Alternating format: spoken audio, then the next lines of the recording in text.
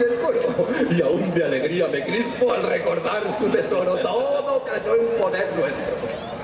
Mas mi capitán, Amaro, puso mi parte en secuestro. Reñimos, fui yo más diestro y le crucé sin reparo.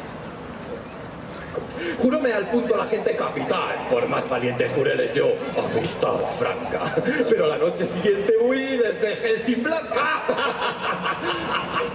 Yo me acordé del refrán de que quien roba un ladrón a cien años de perdón. Y me arrojé a tal desmán mirando a mi salvación. Salté a Francia. Buen país. Y como en Nápoles, vos puse un cartel en París diciendo aquí hay un Don Luis que vale lo menos dos. Pasará aquí algunos meses y no trae más intereses ni se aviene a más empresas que adorar a las francesas y a reñir con los franceses.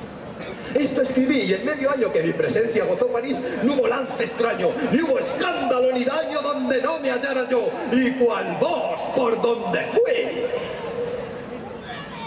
La razón atropellé, la virtud escarnecí, a la justicia burlé y a las mujeres.